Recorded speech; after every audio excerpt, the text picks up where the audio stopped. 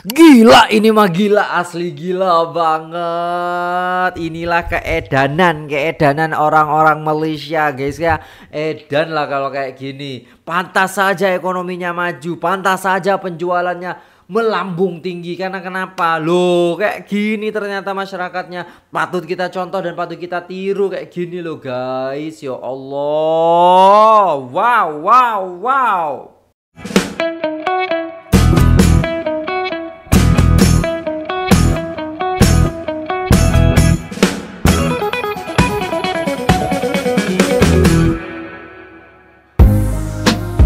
Assalamualaikum warahmatullahi wabarakatuh. Jumpa lagi dengan saya guys. Cak Mujib Gimana kabar teman-teman? Semua Semoga sehat selalu Dalam lindungan Allah subhanahu wa ta'ala Dijauhkan dari segala marabahaya Malapetaka bencana dan bala Serta berbagai macam penyakit. Amin amin ya rabbal alamin. Alright guys Kali ini kita akan melihat ya uh, Mobil ataupun kereta. Kereta, kereta dan kereta. Kereta nih ya Kalau di Malaysia itu mobil lah guys ya.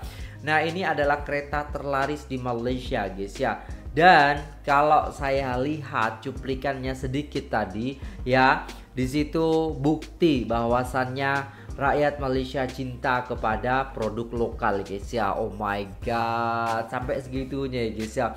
Dan kita akan mengetahui juga brand terlaris ya di Malaysia guys. Jom kita simak videonya. Ini daripada channel Nes Abdullah.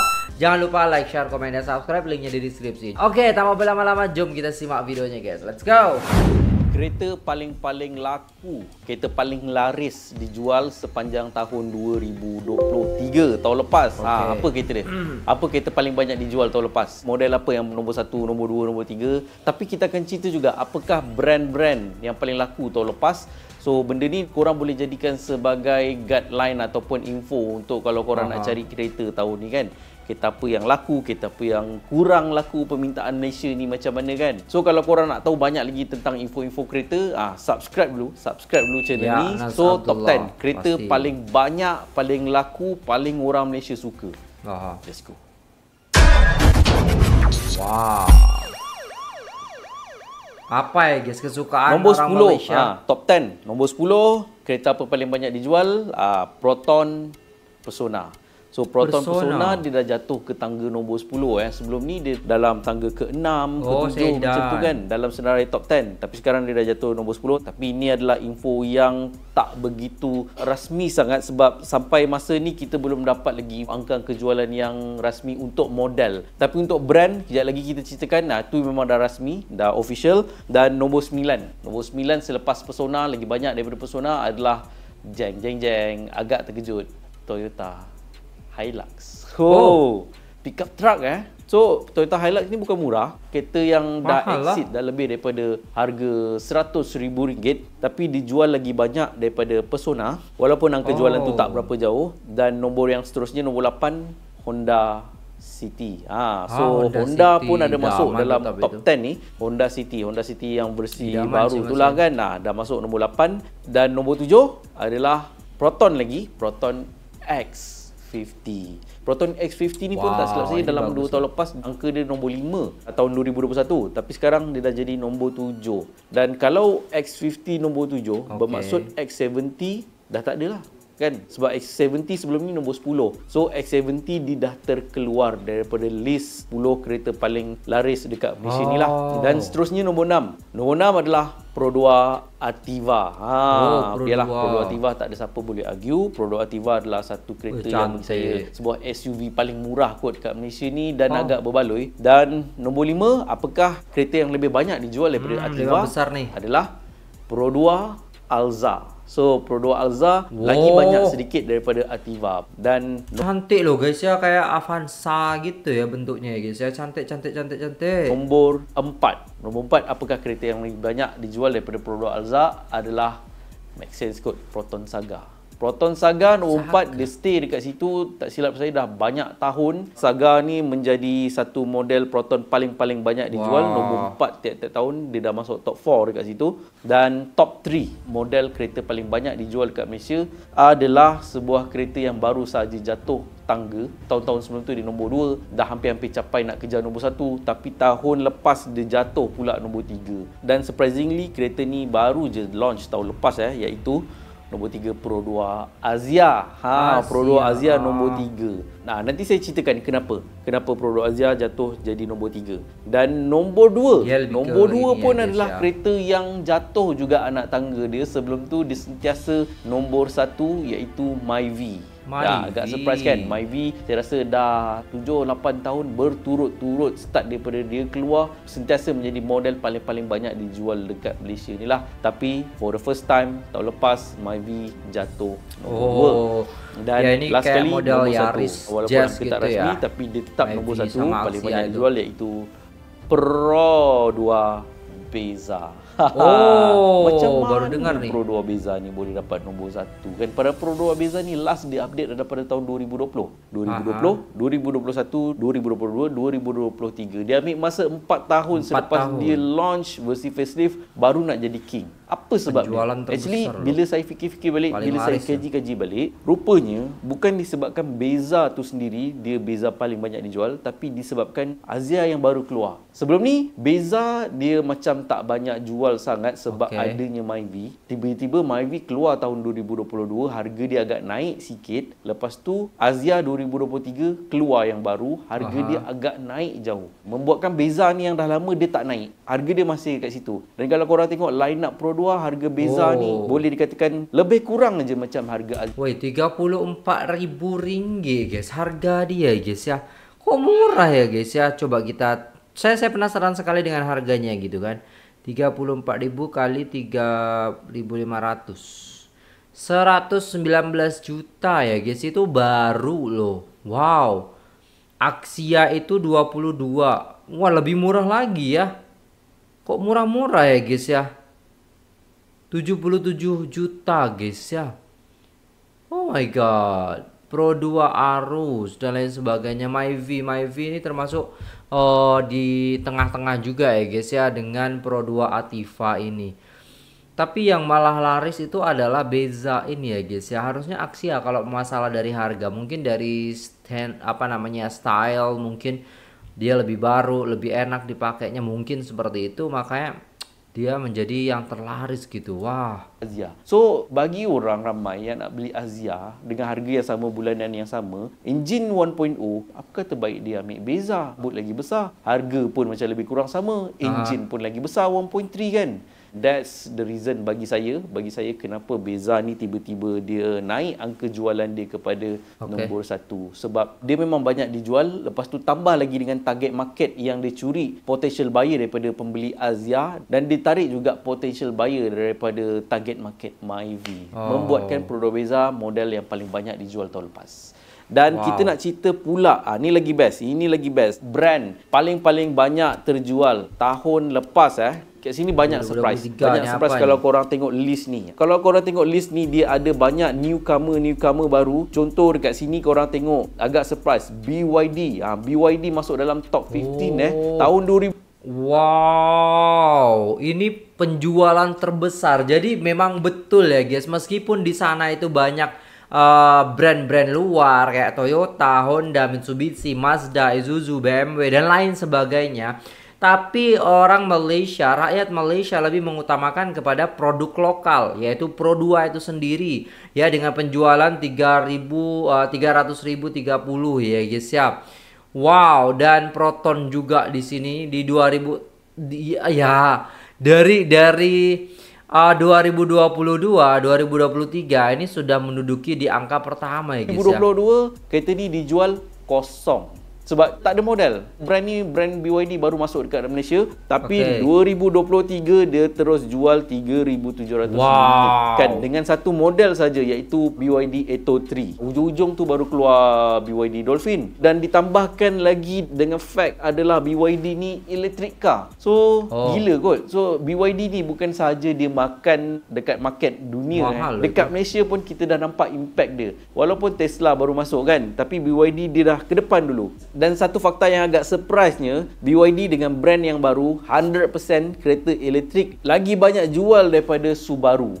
Ah, kereta Subaru. Jepun Subaru jual 1800 unit saja. Model 3,000. banyak, tak ada EV.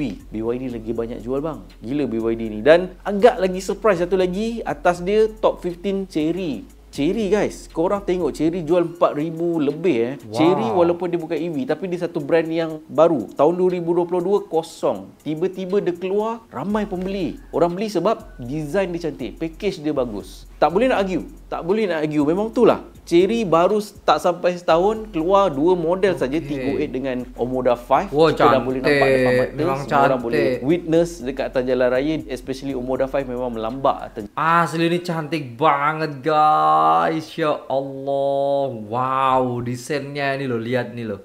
Dengan sentuhan-sentuhan merah-merah sedikit itu membuat menjadi lebih gagah sangar gitu ya guys ya. Jalan. Dan uh, goes to top 10 lah, top 10. Nombor 10 Mercedes-Benz. Mercedes-Benz ah. jual 9000 unit. Ah ni kereta baru eh. Dia kalau kereta-kereta Recon ni tak kira lah kan. Ah lepas tu atas dia Nissan. Nissan, Nissan angka Nissan jualan dia agak okay jatuh lah. sikit. Nissan ni sebelum tu tahun 2022 dia jual oh, 13000 ya.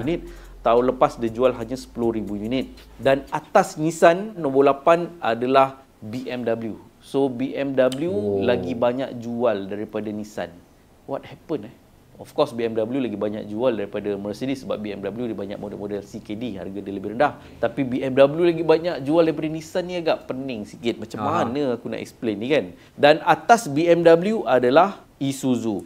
Atas Isuzu, Isuzu adalah Mazda. Mazda. So Mazda memang dia dah sentiasa atas daripada Nissan eh angka jualan dia. Tapi yang lebih mengejutkan lagi daripada Mazda adalah Mitsubishi top 5. Nombor 5 atas Mazda adalah Mitsubishi. Mitsubishi. Korang bayangkan Expander. Mazda berapa banyak dia punya line up model dia kan. Betul. Tapi Mitsubishi dia lagi banyak jual hanya dengan dua model saja iaitu itu. Triton dan Expander. So ha, Expander apa yang Mitsubishi kan. tengah buat dekat Mitsubishi ni betul lah kan. Dia sini. tak jual kereta-kereta yang slow moving, dia fokus pada dua je. Expander MPV, Triton dia punya pickup truck yang Aha. memang fast selling model lah kan. Dan dikatakan tahun ni akan masuk satu lagi model Mitsubishi baru, Mitsubishi X-Force. Dia macam oh. HRV ataupun boleh dikatakan ala-ala macam Mitsubishi ASX. Ya, kita tunggu. Nanti kita tunggu dan Mitsubishi akan keluar juga model all new Triton generasi seterusnya. Yang itu memang pun temptation. Kita akan tengok angka jualan Mitsubishi bakal bertambah oh. tahun ini eh.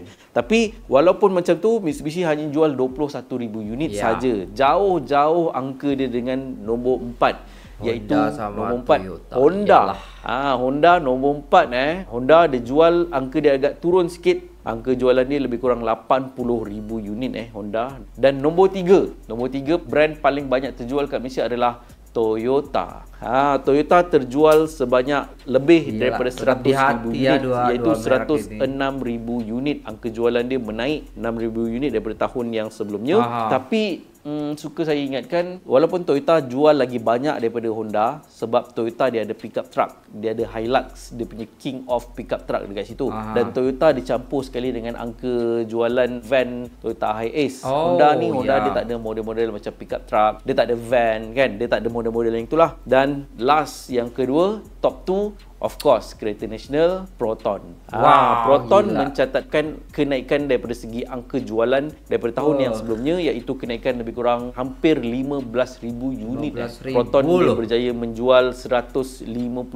unit wow. kereta dan nombor satu, Hebat. nombor satu sentiasa king daripada dulu saya rasa dah lebih 15 tahun kot, dekat 20 tahun. King of Malaysia, model paling-paling banyak terjual kat Malaysia iaitu Pro 2. Tahniah Pro 2 Pro2 juga mencatatkan kenaikan angka jualan dia hampir 50,000 unit guys. 48,000 unit ekstra daripada tahun yang sebelumnya dan wow. sekarang Pro2 dah pecah, dah pecah satu barrier angka jualan 300,000 unit. 300,000 unit setahun eh. Bukan tu saja, dia lebih daripada target dia. Pro 2 tahun lepas dia jual lebih kurang 330,000 unit. Bermaksud daripada Pro 2 sahaja 330,000 biji kereta bertambah dekat atas jalan raya dekat Malaysia ni wow. oleh Pro 2 saja. Tak masuk lagi brand-brand lain ni kan. Ah, betul. Dekat setengah juta kot kereta bertambah dekat Malaysia ni setiap tahun guys dan angka tu sentiasa menaik. Sentiasa menaik. Memang tak heranlah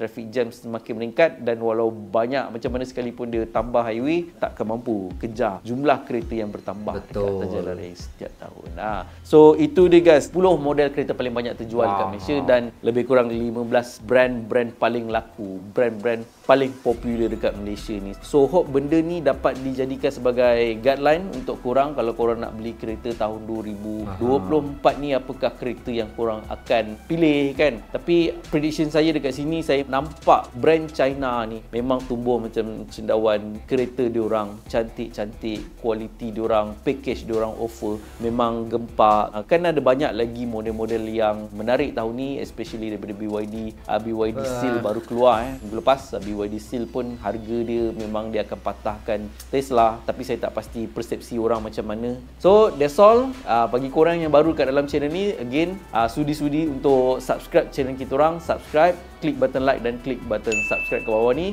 Kalau korang nak tahu info detail pasal benda ni korang boleh download uh, table ni dekat kita orang punya website dan video hari ni saya refer daripada artikel yang ditulis oleh admin saya uh, Melissa Syahira. Korang boleh pergi ke website kita orang nazenco.my. So macam biasa, kata daripada saya Nas Abdullah.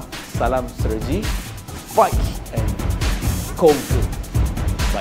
Alright guys, selesai videonya dan itulah tadi ya guys ya. 10 model paling laris kereta di Malaysia guys ya di tahun 2023 karena ini baru saja kita menginjak kepada tahun 2024 dan boleh kita lihat juga bahwasannya antusias daripada masyarakat dan warga Malaysia kepada produk nasional kepada buatan-buatan sendiri itu lebih lebih lebih lebih condong lebih lebih berat di situ. Sehingga ekonomi perekonomian itu bisa juga semakin melambung tinggi. Seperti itu ya guys ya.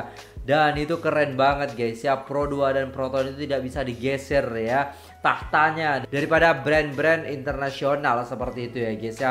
Jadi mereka tetap cinta kepada produk lokal ya. Masya Allah keren banget guys keren banget salut kepada masyarakat Malaysia dan mungkin orang-orang yang tetap cinta meskipun uh, bukan orang Malaysia asli ataupun uh, pendatang seperti itu tapi mereka kadang tetap masih menggunakan produk-produk Malaysia. Wah, keren banget buat kalian semua. Oke, itu dulu videonya guys. Terima kasih sudah tengok video ini sampai selesai. Gimana nih? Kalian punya kereta apa saja? Silahkan komen di bawah. Saya ingin tahu nih guys, satu orang tuh punya berapa kereta di Malaysia ya guys. Silahkan komen di bawah guys ya. Oke, itu dulu videonya. Terima kasih sudah tengok video ini sampai selesai selesai. Apabila ada salah kata mohon dimaafkan. Wassalamualaikum warahmatullahi wabarakatuh.